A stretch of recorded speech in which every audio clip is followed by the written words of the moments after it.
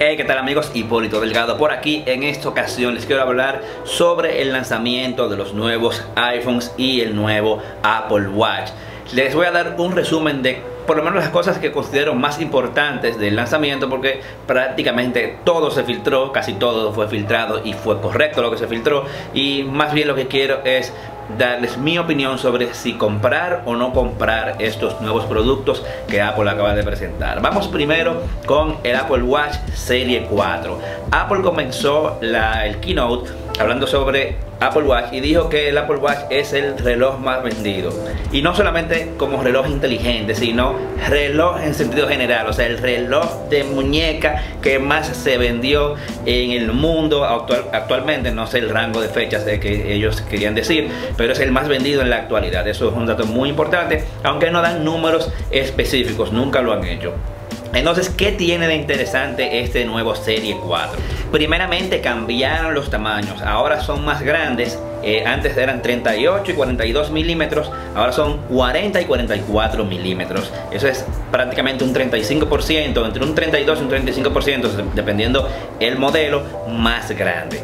Lo que ahora permite más espacio para esta nueva carita que permite hasta 8 complicaciones. Esta carita está muy chula, a mí me gustó bastante, creo que es muy útil y si llegan a ponerlo en la actualización de WatchOS para los relojes actuales, que no creo, me, esa va a ser mi favorita. Si llego a comprar este reloj, bueno, entonces esa será la que utilizaré. A nivel de construcción, la parte trasera está muy bonita, es de cerámica negra y cristal de zafiro.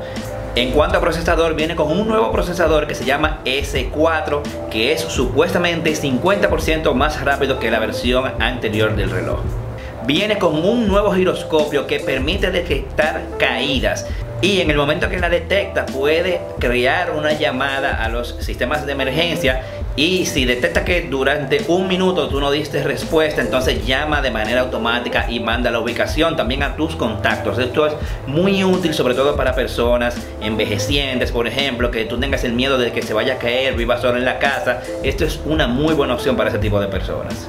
De igual manera tiene ahora usos muy interesantes para asuntos del corazón. Incluso te permite realizar un electrocardiograma directamente en tu muñeca utilizando eh, el dedo derecho y bueno, tiene una tecnología que permite crear un electrocardiograma directamente con tu reloj y está aprobado por la FDA. Esa aplicación de electrocardiogramas todavía no está disponible, va a estar disponible con una actualización de software un poco más adelante, no especificaron cuándo.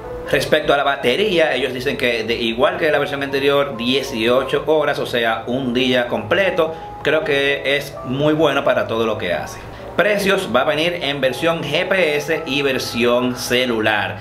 La versión GPS comienza en 399 dólares, o sea, básicamente es el mismo, eh, la misma estructura de precios que la serie 3. Y el serie 3 se va a continuar vendiendo iniciando en 279 dólares. Si se preguntaban, según vi en la presentación, todas las pulseras son compatibles con los modelos anteriores. O sea, parece que los modelos grandes van a ser compatibles con el grande nuevo y los pequeños con el pequeño nuevo. Eso está muy bueno porque si tú tienes, por ejemplo, yo tengo el de 42, si me compro el de 44, voy a tener cierta compatibilidad con las eh, pulseras que ya yo tengo.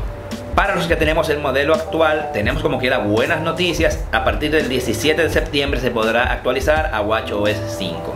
Entonces mi opinión sobre comprar o no el Apple Watch Serie 4, eso depende. Si tú no tienes ningún reloj y quieres insertarte en el mundo de los relojes inteligentes, ya sea para asuntos de salud o lo que sea, bueno, pues sí, cómprate el Serie 4. Aunque realmente te voy a ser sincero.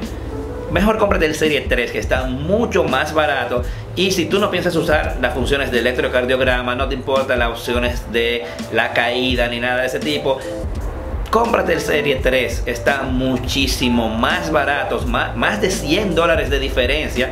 Eh, claro, la versión de 38 milímetros estamos hablando, la, la de 42 sube un poquito, pero igual se mantiene por debajo del Serie 4. Entonces, si tú no necesitas eso, vete con el Serie 3. Ahora, si tú eres un usuario, incluso hasta del Serie 1, yo te recomiendo que te vayas al Serie 3, no, no necesitas el Serie 4.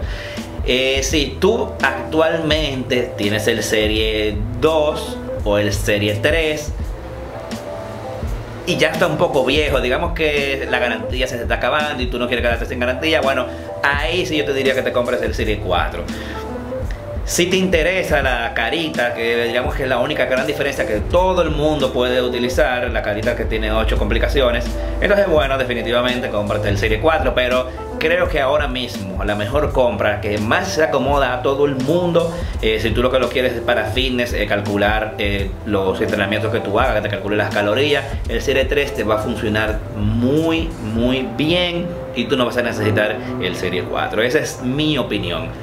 Ahora vámonos con el lanzamiento más importante que fueron los tres nuevos iPhone. Se había filtrado todo, hasta los nombres, eh, todo, absolutamente todo se había filtrado.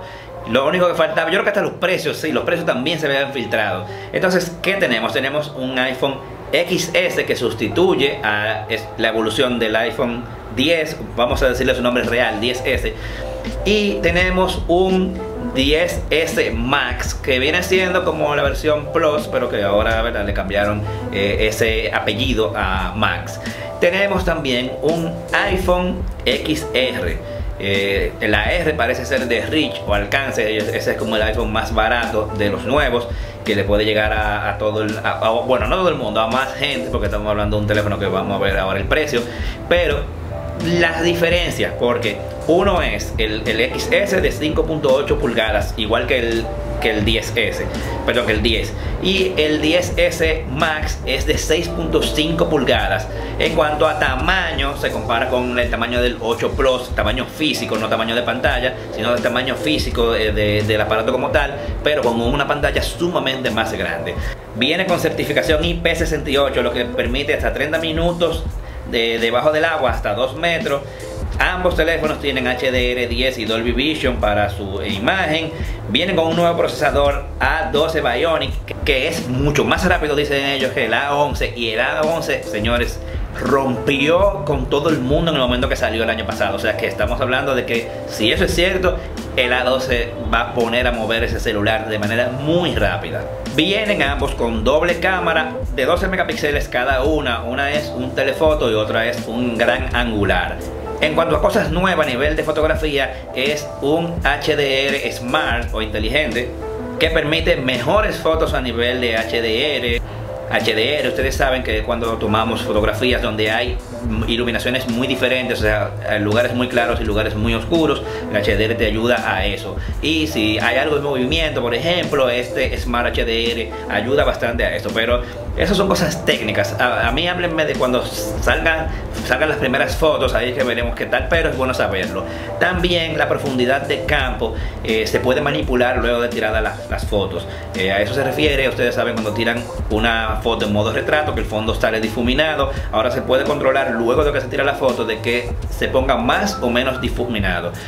Ellos hablaron ahí como que, wow, qué chulo, pero realmente hay más teléfonos que hacen esa función desde hace un buen tiempo. Lo que hay que ver es qué tal los eh, eh, Apple lo hace ahora con esos nuevos iPhones respecto a la competencia que ya lo viene haciendo desde hace un tiempo.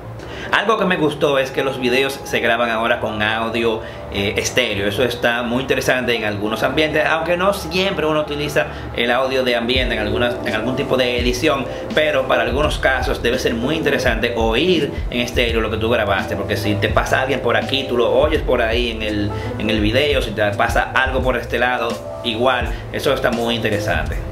Ya en el caso del XR, eh, viene prácticamente con las mismas especificaciones que los otros, pero solamente viene con una sola cámara, que es la gran angular de 12 megapíxeles, no trae el telefoto.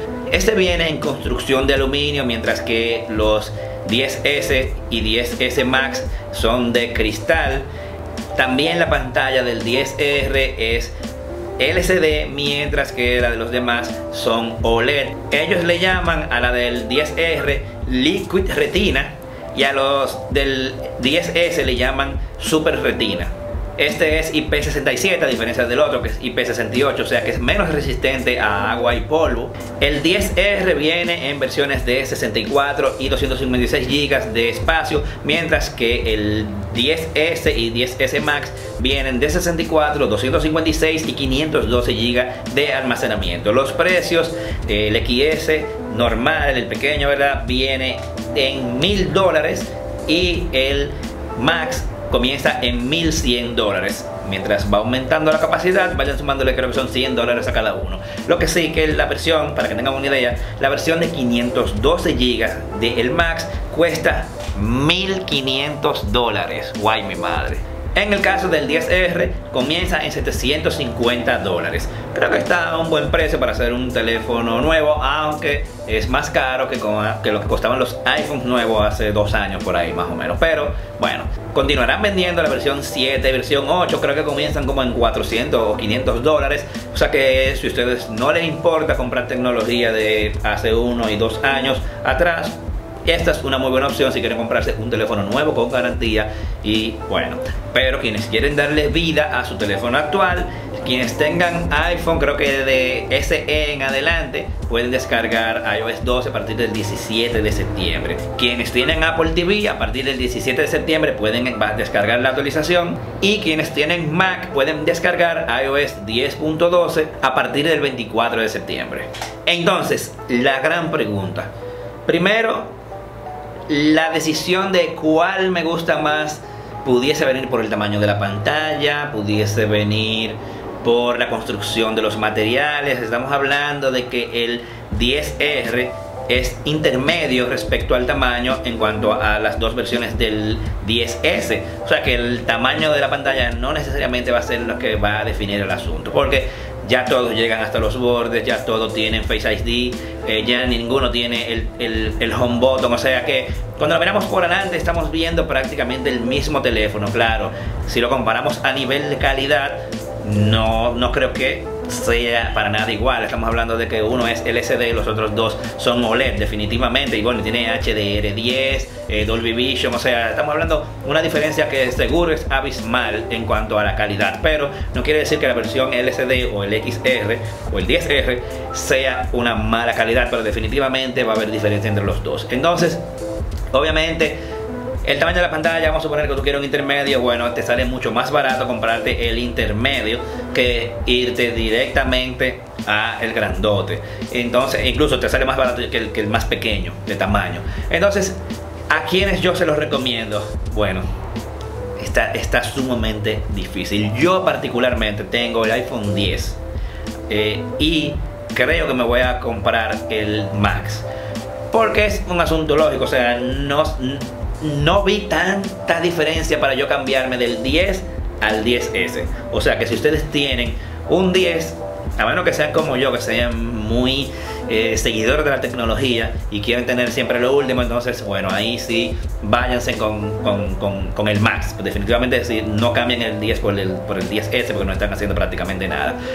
Una ventaja que sí, eh, para nosotros lo que tenemos el 10, una gran ventaja es que podemos vender el 10 por un precio más de la mitad de lo que nos, de lo que nos costaría el 10S Max que el que yo quiero va a ser definitivamente el de 64 GB. Yo tengo el, de 256, el iPhone 10 de 256 GB y no tengo ni siquiera, tengo como 50 GB ocupado y eso es porque yo no borro ni video ni nada, porque para qué. O sea que si yo borrara videos tuviese prácticamente algunos 30 GB nada más ocupado. Entonces me voy a ir con la versión de, 64, ahora con todo en la nube. Yo, yo pago la versión de 2 teras de iCloud, o sea que y tengo el backup de la de, la de los de las fotos y los videos en, en, en Google Fotos, o sea que básicamente no necesito tener tanto espacio físico. La música la tengo en, en Spotify y en Apple Music, o sea que eh, punto claro. Me voy con el de 64 GB, no quiero pagar mucho dinero.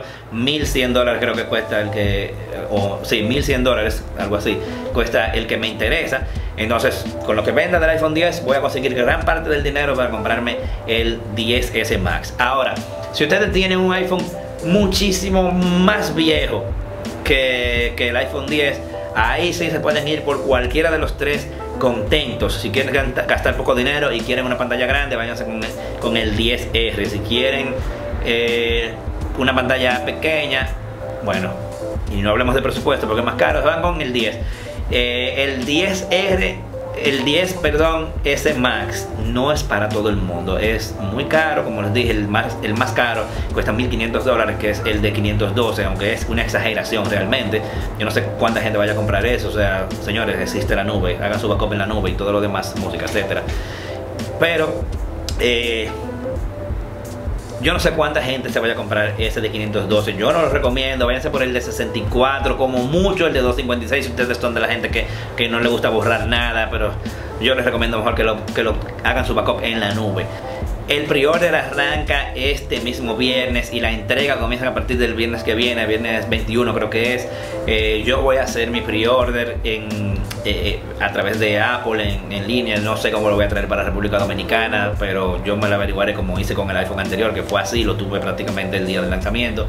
Pero señores, no se maten mucho si ustedes tienen un iPhone 8 un iPhone 8 Plus, un iPhone 10, yo les diría que pueden calmarse, tranquilos. Si tienen unos por debajo de esos, pueden tranquilamente sí comprarse cualquiera de los tres. O si ustedes tienen un iPhone extremadamente viejos, recuerden que continúan vendiendo el 7 y el 8 a unos precios muy buenos y son muy buenos dispositivos. O sea que no se vuelvan locos, no intenten caerle atrás a la tecnología como tal. Para mí, eh, mi favorito viene siendo, le voy a dar mi orden, el Max, pero eso es muy personal, eso es personal para mí. El Max en primer lugar, yo pusiera el, el, 10R en segundo lugar por un asunto del tamaño de la pantalla y su costo que es por debajo del 10S y en tercer lugar el 10S eh, digamos que quien quiera un teléfono muy premium y que no sea exageradamente grande entonces el 10S es el perfecto para ti. Pero yo me voy con el 10S Max porque yo quiero ver cómo se ve esa pantallota grandota en mi mano. Pero eso por, eh, porque me gusta. O sea, no es que yo no se lo estoy recomendando que ustedes lo hagan, sino que es un gusto totalmente, totalmente personal. Me pareció, no sé, me dio como... Yo pensaba que iban a hacer algo con el SE.